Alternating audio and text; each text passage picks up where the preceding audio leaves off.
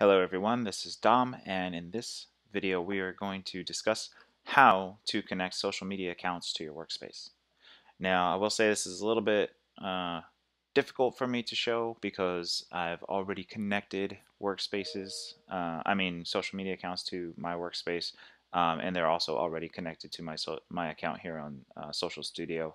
Um, so I'll do my best here. Um, we'll see we'll see how it works. But um, so if you go, of course, we're going to go back into our workspace settings. There is a means by which to do this here in the workspace settings. If you go to social accounts, notice there are none.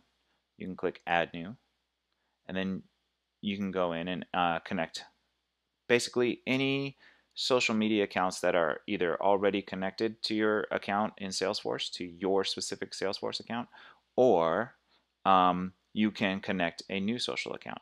Now, as I mentioned, I've already connected all the social media accounts that I can. Um, so unfortunately, I can't really go over the process really of um, reconnecting them, but I can tell you how to do it. Basically, click this button right here, and it's pretty self-explanatory. Um, you go through, uh, it's going to load up, yeah, this little modal window. You click YouTube, you say by clicking, you can um, certify. There's a little disclaimer here. Click continue.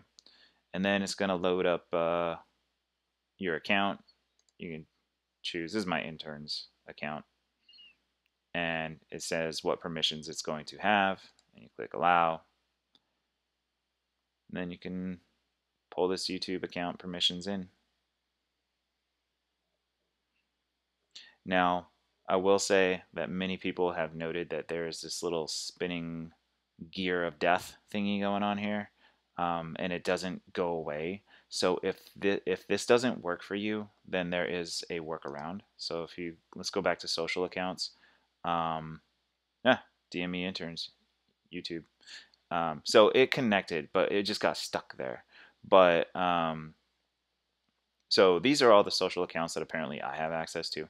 Um, but if you go into your profile, click here, go to admin,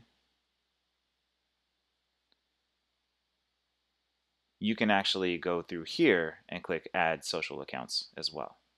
And then you go through the process, um, you know, Facebook, and then it'll pull up some Facebook stuff. Um, yeah, so it pulls up this page. I'm logged in as Dominic Rodriguez. Um, I just made that one up. And then, you know, you choose your page that you want to add. This is another page actually that I've um, that I've created just for sample stuff, but I already added it. So I mean, I could create a new page and then add it to my Facebook account and then connect it. But um, you know, you get the idea at least. Um, you would basically log in to Facebook. You should be logged into Facebook before you start doing this, and then it'll say, "Yeah, um, is this you? Yes, it's you." And then um, it'll show a little Facebook panel saying, hey, you know, do you give permission for Salesforce to have access to this page and to perform all these functions like uh, posting as you, uh, commenting as you, and things of that sort. So um, once you get that all set up, you click save and it should load up, but I've already done that. So, But anyway, those are the two methods by which you can um, set up your social accounts in Social Studio. You can either click it, do it inside of your admin section, so by clicking on your profile and clicking admin, this is the admin section and go into social accounts, or you can go to um, the settings in your workspace. Click the, the social, uh, or click the little uh, gear icon, go to social accounts, and add new.